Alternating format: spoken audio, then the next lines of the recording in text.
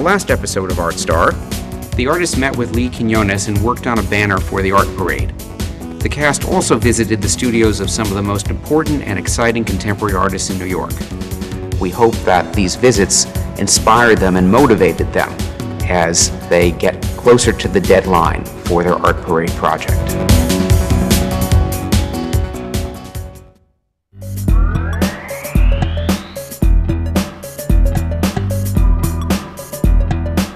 In a creative field, a little pressure is good. I think the artists are feeling some pressure now with the art parade coming in a few days. The first week of September is perhaps the busiest week in the art season. All the galleries have their openings. On Thursday, we have our gallery openings at Deitch Projects. 30 days of work in the studios culminates in the open studios on Friday and in the art parade on Saturday. Hi, everybody. Hi, ready? Annie. Hi. We're gonna make something for the parade. Let's try it. Take two. We're gonna make something for the parade. Okay. We need to make something to carry all these weird balloons in. It could be something as simple as just like a cylinder, or it could be a giant fish. it could be. And this is the magic ingredient. It's wax paper. It's pretty simple. It's my hair dryer now. But it makes yeah, it's like Really great. it's like a big doo, doo, doo. we could carry it like sideways. So I guess the next step is we make A big fish. a big fish.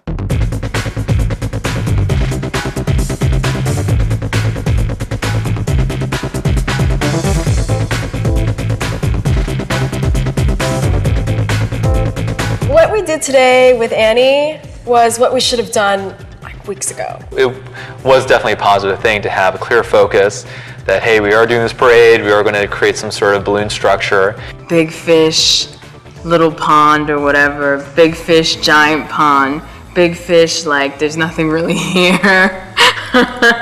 you know, it's just a big joke. Let's get that tail on and, Do you want- the, and the bottom seam sealed and it's a thing. All right, so we can seal the whole piece? Yeah. All right, let's do it.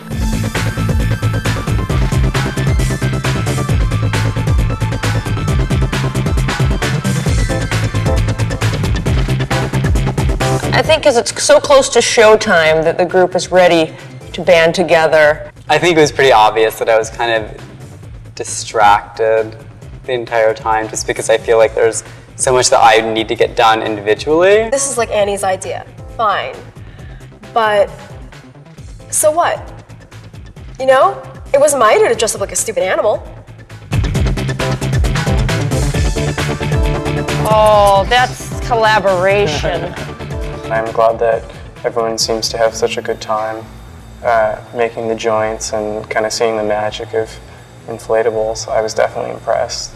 Even though it's a group of individual people who are very strong, they kind of want to be led a little bit.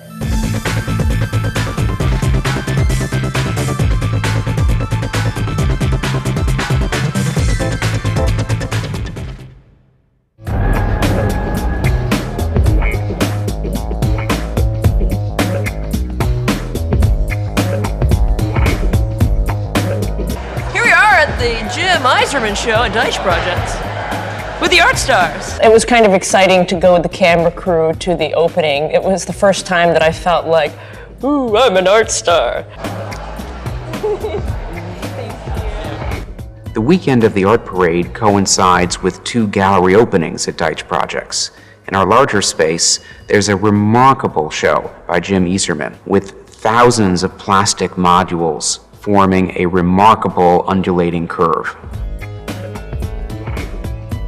It was really nice how it filled up the environment and how the whole space was transformed by it and how every angle that you were in there seemed to be moving.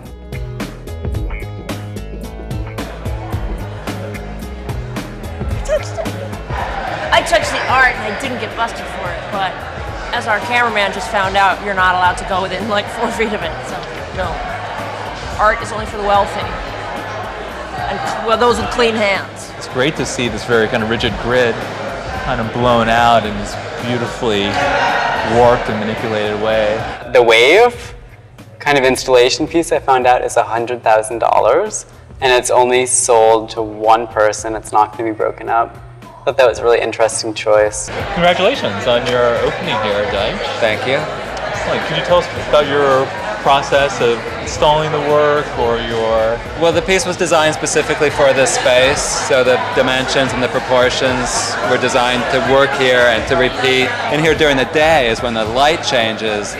The triangle that's in shade actually reverses, and it feels like the walls, uh, or that the shapes are convex instead of concave. Oh, it's fantastic. So, I mean, this is actually the worst light to see it in. You should come back during the daylight.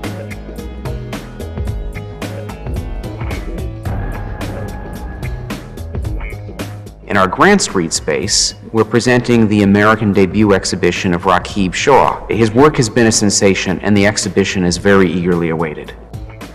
Well, my name is Raqib Shaw, and what you're looking at is uh, a year and a half uh, of work. Um, that's it, basically.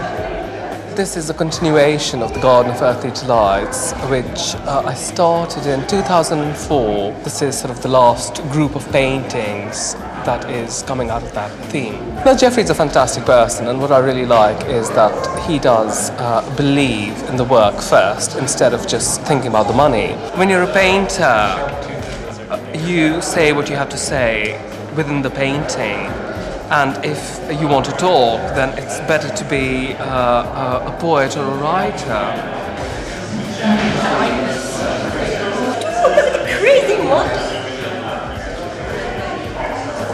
This is pretty neat. What's coming out of his ass? What is that? Yes, yes.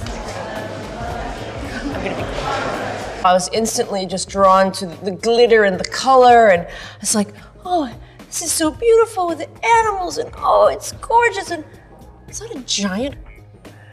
Like, it kind of ruined it for me.